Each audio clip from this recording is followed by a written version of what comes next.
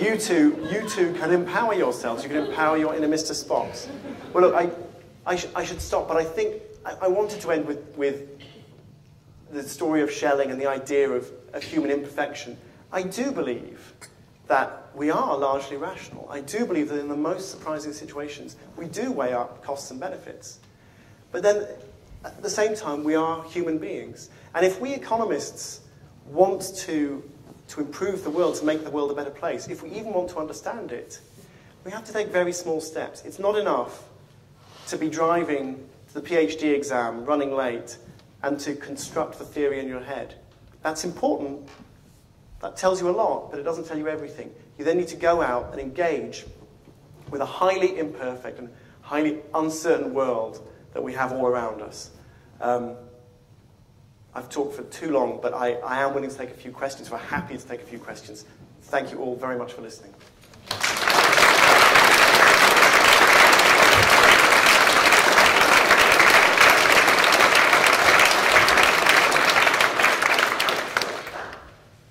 Question right at the back.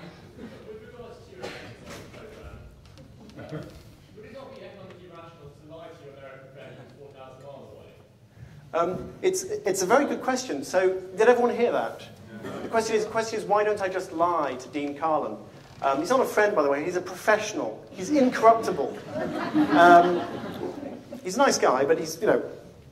Uh, so, here's, the, here's where, here's where our, the fact that we're actually human beings comes in. One story that's told about Schelling, although I haven't been able to confirm that it's true, I, when I met him, I hadn't heard the story, so I didn't ask him. One story that's told about Schelling is that he tried at one point to quit smoking by writing a check to the American Nazi Party. putting, addressing it, putting a stamp on the envelope, and leaving it by the front door. And he said, if I smoke another cigarette, I'm going to mail the envelope. Now, I don't, I don't know if that's true, and if it is true, I don't know whether, he, whether that was the day he quit or whether he actually buckled. Um, but you, you, know, you have to have a balance. I could, I could have written a check to the British National Party, which I think I would have found much more motivating. I could have written a check for, say, £50 to the British National Party, and that would have motivated me as much as a check for $1,000 to a, the Washington, D.C. Central Kitchen, which is actually a wonderful charity. However, if it was £50 to the British National Party, I would just lie. I'd get to the end of the week and I'd go, those guys aren't going to get my money. Um, and I'd just lie. But this is a charity. I can't lie and do a charity out of money. I can do push-ups and do a charity out of money, but I can't lie and do charity out of money. So I, I guess what I'm, I'm emphasizing is that, uh, you know, I, I am 90% Spock, but there are parts of me that are highly illogical. Um, there are, uh, there's a question there. I'm sorry, just going to do the questions in order.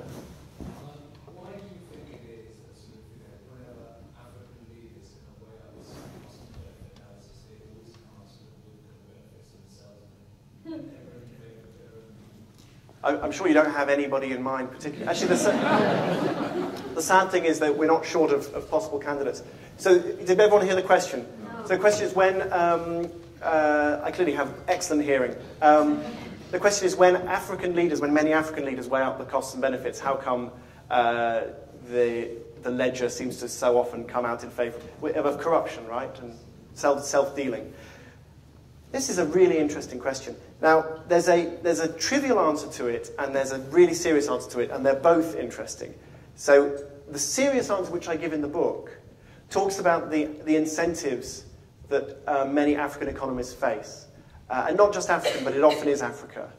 And the argument is that these incentives were actually laid down many, many decades ago by the institutions that the colonial powers laid, laid out not a lot of people know that the Pilgrim Fathers nearly went to Guyana. And they decided not to go to Guyana because they realized that settler mortality in Guyana was more than 50% per year because of all the tropical diseases. So in the end, they decided to go to, to Cape Cod. And um, oh, you know, off they went and, and helped to found America. And more generally, the argument is, this is put forward by a, a Turkish economist, brilliant young Turkish economist, uh, Daron Acemoglu, um, who followed Steve Levitt as the winner of the John Bates Clark Medal. He argued that the presence of tropical diseases uh, in many parts of the world that were colonized led the colonial powers to set up basically exploitative, extractive institutions. They didn't want to live there, they just wanted, first it was the slaves, after the slaves it was the ivory, then it was the gold, then it was the oil. When they handed over power in the 60s and 70s, they handed over these institutions, those still exploitative institutions. So what do you use exploitative institutions for but exploitation? Now, in somewhere like America, Canada, what happened is very nice climates. Well, I don't know about Canada, but America, very nice climate. Settlers wanted to stay. They didn't want to exploit America. They wanted to stay. Obviously, they had to wipe out the indigenous population, but then they wanted to stay, and they wanted to set up institutions for themselves that maximize prosperity, hence the Bill of Rights. And so that, I think, is a very powerful explanation for why it is that so many tropical areas, even today, are in poverty. It's an institutional explanation. Another, uh, I mean, another really interesting thing, and here's the, here's the, little, the funny little answer. So economists have always asked themselves, to what extent is corruption institutional? To what extent is it, is it all about the, the laws, the pure incentives that people face? And to what extent is it cultural? There's, those distinctions are blurred. I mean, there is a blur, blurring between institutions and culture. But if you wanted to answer that question, what would, you, what would you want to do? You want to take people from all over the world and you want to put them somewhere where they're all subject to the same laws, the same institutions, and see how they behave.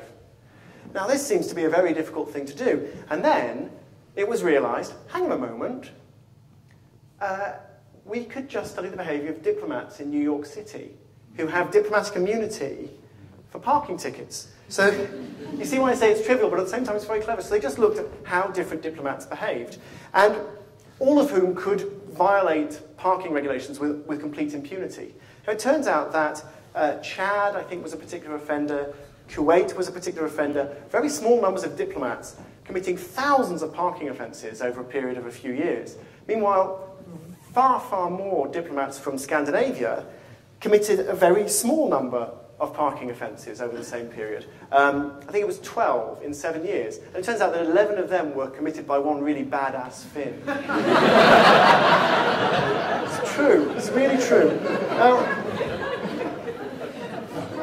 so that suggests, oh, it's all culture, institutions don't matter. But actually, there's a, there's a, moral, there's a kicker to the story, which is um, Hillary Clinton and Charles Schumer, who were senators at the time, got a, a law passed that A, okay, we can't impose these parking fines, but we can tow their cars and crash them if we really want to, but we certainly tow the cars. Also, we will add up all the uh, owed parking tickets and we will deduct that sum of money from the foreign aid budget that these countries receive. So they changed the incentives. The moment they changed the incentives, parking offence, unpaid parking tickets fell by 90%.